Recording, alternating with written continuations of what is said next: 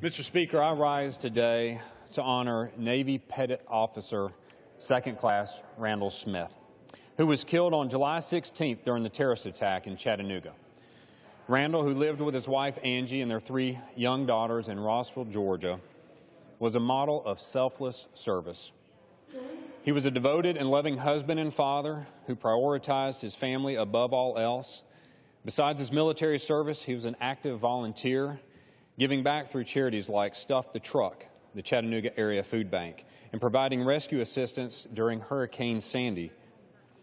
And less than two weeks ago, he made the ultimate sacrifice while serving our country.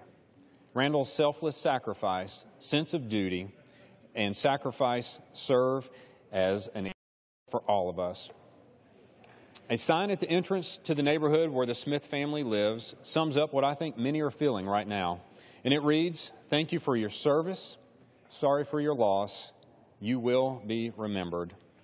I know that our community in Northwest Georgia is forever grateful for Randall Smith's service and sacrifice. May God bless Angie and their three wonderful, beautiful daughters. Gentlemen, yield.